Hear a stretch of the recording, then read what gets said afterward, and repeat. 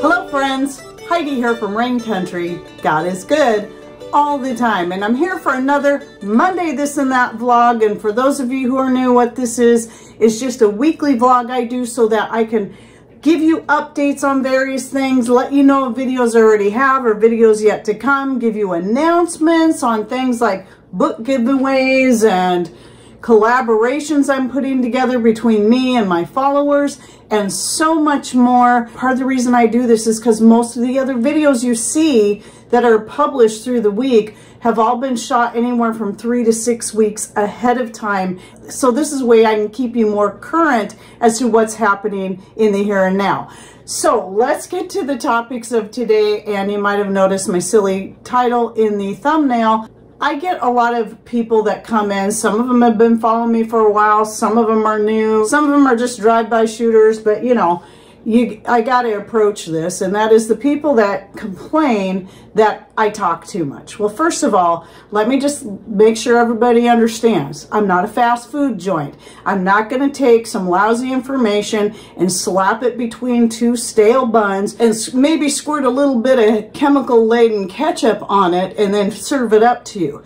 If you want that kind of information, then you probably need to go to places like TikTok and so on. That is not why I'm here. I am here to answer all the many questions that I know people are going to have on any given topic. So even if those questions do not pertain to you, like, you know, how many quarts are in a gallon and so on and so forth, because maybe you see that as pretty standard information everybody should know. Well, believe it or not, not everybody understands that. So these are things I have to explain and go through and walk people through step by step. So just look at that extra information that you personally didn't need as the free side dish that somebody else did need or really wanted. And remember, all the information you're getting is free. However, let me give you a little bit of tip. If you're in a time crunch like I always am, and you want that information and you want to just get through it quickly, you can either A, skip through, or B, you can actually play the videos on a higher speed. And if you are one of those, at least if you're on YouTube, I don't know if that feature is available on Rumble yet, I'm guessing not. And in the reverse, if you're one of those that complains because I talk too fast, then you can simply play the video at a slower speed. I personally don't like doing either of those for my time crunch. If I want to listen to something, I play that while I'm doing other projects such, such as cutting up apples and zucchini to put on my dehydrator, folding laundry, and more. I can just listen and it's not using up any more of my time to do that. So anyway, moving on from there, some of the other topics I wanted to cover was, uh, let's talk about the zucchini. So I did cover this last year. And what this is, I finally figured out just by observing the plant closely. This came from initially a zucchini I had planted from seed I had bought that was for Black Beauty zucchini, which is one of my favorites to grow because it just puts out so much fruit, grows quickly, it bushes out beautifully. And then I saved the seed from one of the bigger ones, planted it the next year, and then got a couple of plants that gave me zucchini like this. Now you can see the color is just a little different. It's not as dark. In fact, here's a picture of the last four Black Beauty zucchini I just harvested when I thought my plants were all done. I go out there and there's four more good sized ones. Anyway, that's how it should look. And initially I thought this was maybe a hybrid of the Italia striata zucchini that I was also growing, but it still didn't make sense. And the only reason I thought that was because if you look closely, you can kind of see stripes. But then as I watched the plant mature and really paid attention to the plant and to the zucchini itself, I realized for certain what it was is actually cross pollination between the pie pumpkins I was growing and the Black Beauty zucchini. And the reason I'm certain of that is because this little one here, they almost never look like this, but this is also one. The only reason this one looks like this is because it came from a small plant that never fully matured, so this was the best zucchini it could put out. But you can see this is already fully orange, like a pumpkin. In fact, if you were to see this, you would just think it was a, a kind of oblong, weird-shaped pumpkin. And this will turn orange like that too when I let it sit. The other things are, first of all, that this stayed, other than that weird one there, all of my zucchini from that plant that I got last year and the one I planted from that same seed again this year, they were all about the same size and same shape. Fatter than a regular zucchini, but also shorter than the Black Beauty. And the the flavor and the, um, I think I have some pictures I took last year. The flesh just has a more uh, deeper yellow color, not so white like your regular zucchini, even when you cut it fresh while it's still green on the outside. But also the plant, instead of growing like a bush, it vines. And it it doesn't get as heavy amount of fruit on it the, the same way my pie pumpkins do. But for flavor, as a zucchini, I like this best. Now this one I'm gonna let go ahead and turn orange and then I'm gonna save the seeds from this and then I'm just gonna serve this up like a regular squash, like you would with spaghetti squash or um, acorn squash or anything like that. I'll just cook it and mash it. So that's my plan to do with this. And then what you see here is just some of the last of the remaining zucchini, those four that I got. I gave one to my daughter-in-law the other three I cut up and dehydrated. So I have quite a few quart jars of dehydrated zucchini that I use in all kinds of different things. It's my favorite way to preserve. I also do like to powder it up and add it to different kinds of breads, pancakes, and more, uh, just to get more nutrition.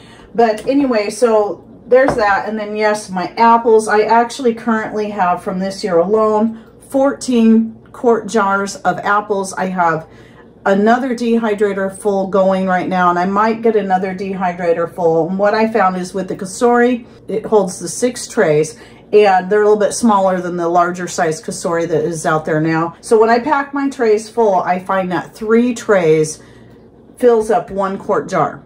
And that's approximately seven to nine apples depending on the size.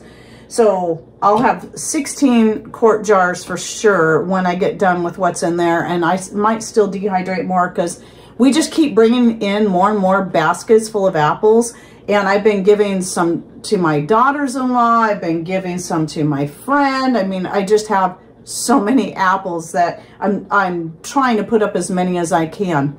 And uh, anyway, I'm going to be doing a video on the many uses for dried apples here soon, but because I'm, I think right now I'm at four weeks ahead because during harvest season and so much going on, I, I wasn't able to put out as many videos then. So I'm down to being only four weeks ahead, which I actually prefer. Six weeks is just a bit too much. And so it'll probably be about a month when that video comes up. So yes, dehydrating apples to me is just an excellent way. It's, it's the best. I actually like it better than canning them. I didn't like the way apples turned out when I canned them but uh, dehydrating them is my favorite way to do that. I do also freeze some up uh, just for a little quicker, you know, when I want to make some kind of crisp or pie. I actually get it all ready for pie. So it has everything in it, the sugar, the flour, the cinnamon, nutmeg, cloves, and even the rhubarb powder.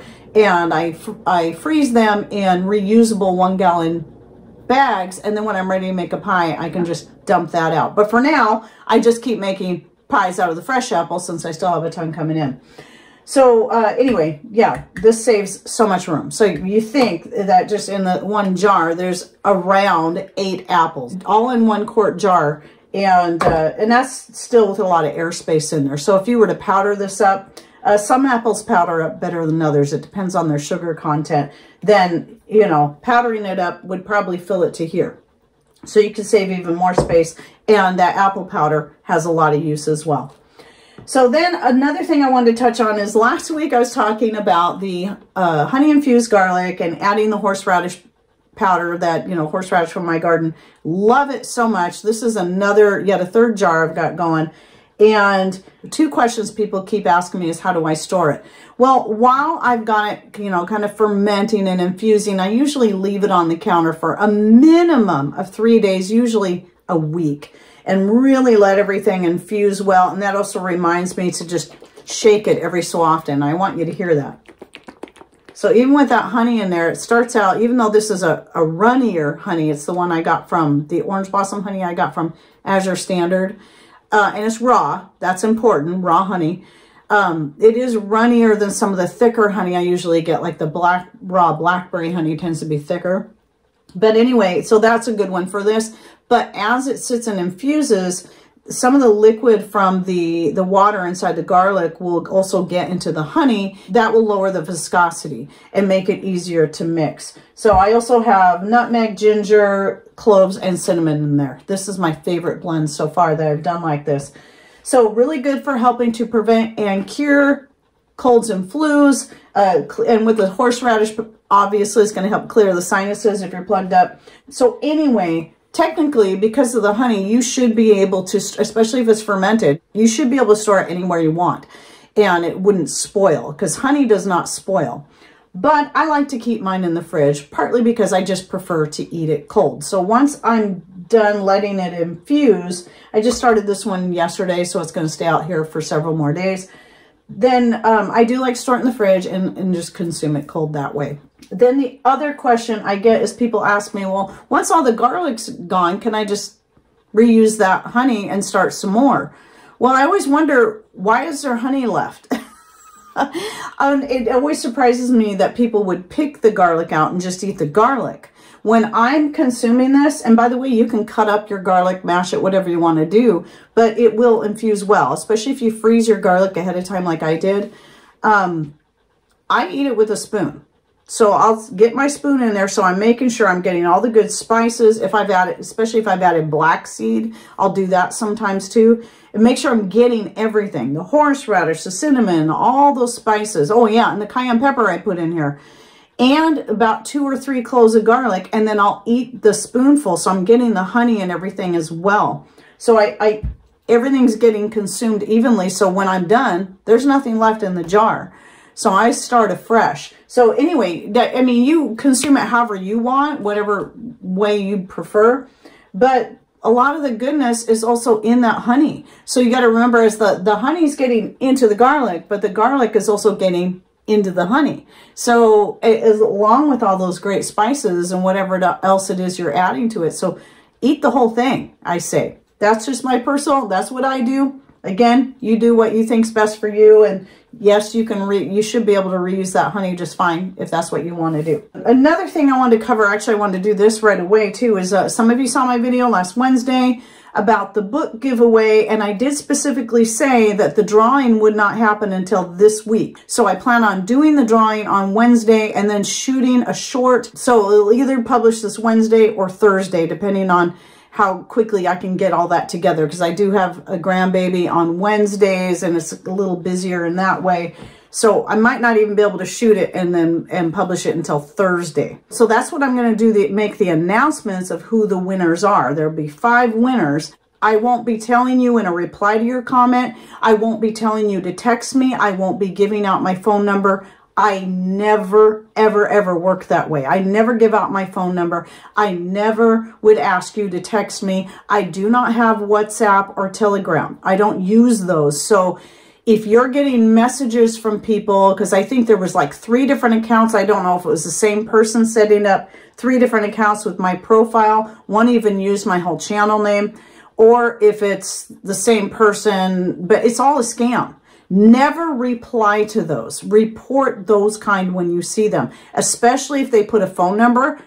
That's not me. I will never do that. So it makes me really mad that somebody got a lot of people's hopes up thinking they had won. But as noted in that video, it was I was allowing a whole week for more people to be able to enter into the contest. So it, it wouldn't make sense for me to, to say that and then just go, oh, you won, you won, you won. That's not how it works. So I'm sorry that happened to you. It makes me really mad that somebody's messing with people's minds that way. And then making more work for me to go try to find them and delete their comments and reply to all the emails I got from people thinking they had won. Some people just like to mess with people and some people are actually uh, fishing for your um, financial information. Well, if I'm doing a book giveaway, why would I be asking for your financial information? So just a good clue. If you ever see that, doesn't matter if this is Rain Country at Rain Country Homestead. I don't know how they got away with doing that. Or in my same profile picture, if any of those things fall in there and it doesn't follow the rules of the video, that's not me. So report those people when that happens. And thank you for the people who did that because when I went back and realized what was going on and tried to find that person and block them, I couldn't find any of the comments. So that tells me that people were that know better jumped right on that, reported them, and they were gone. So anyway, be watching probably more like Thursday. I'll do the drawing on Wednesday. It'll be at least Thursday when I announce the winners and then again in next Monday's this and that video. So that way, if you miss one, you'll get it in the other. And then at that point, um, once I do that and I give your name publicly in the video, and I'll be doing your username because I won't know what your real name is if your if your username here on YouTube is not the same, then you'll email me at raincountryhomestead at gmail.com and give me your address. Then do not put your address publicly on YouTube, I will never ask you to do that either.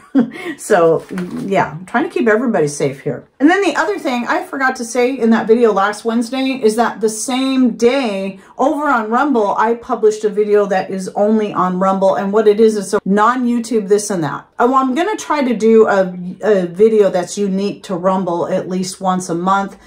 Um, if I can, if I can squeeze it in, because it is more time, more work for me to do that. So I got to free up more time in order to try to squeeze that in there. And uh, I suggest you go watch that video. And uh, please subscribe to me on Rumble if you're not already because you'll be seeing more and more videos that are unique to Rumble because they can't, I can't put them here on YouTube.